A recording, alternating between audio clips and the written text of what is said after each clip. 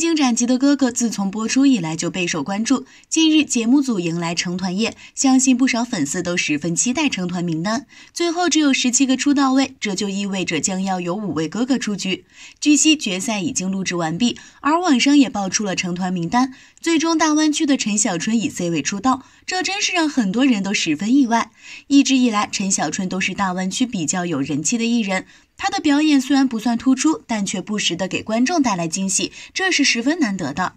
众所周知，截止已经播出的节目，台上共有二十二位艺人，其中胡海泉、李想、尹正、林海峰以及 James 遗憾出局，也就是说，剩余的艺人都自发成团。对于这一结果，其实有很多观众都不满意，在大家看来，胡海泉太过可惜。有看节目的观众一定很清楚，胡海泉一直是多个角色的担当。他不仅有惊人的演唱实力，还是节目中半个主持人。很多私下聚会的小活动，几乎都是胡海泉来主持。最让人不能接受的是，胡海泉最后与出道位只差一个席位。十八这个名字对于其而言真的是比较讽刺，也难怪他会成为观众心中的意难平。大湾区的五位哥哥一直都是节目组的搞笑担当，但是真拼人气的话，也就陈小春和张智霖比较拿得出手，所以两人晋级是比较合理的。梁汉文早前已经出局，如今李海峰也未能成团，观众自然会感到可惜。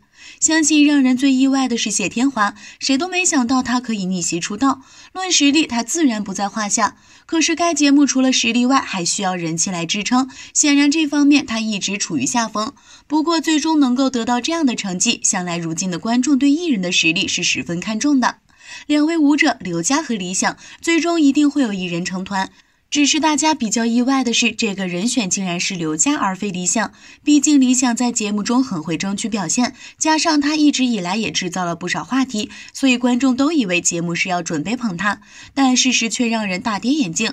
看来此次芒果卫视真的是开辟了一条新的发展路线，总是不按套路出牌，让人摸不着头脑。传言哥哥成团后将会陆续录制两档团综，后续的活动也不会少。看来与浪姐相比，哥哥们的发展机会将会更多，咱们还是拭目以待吧。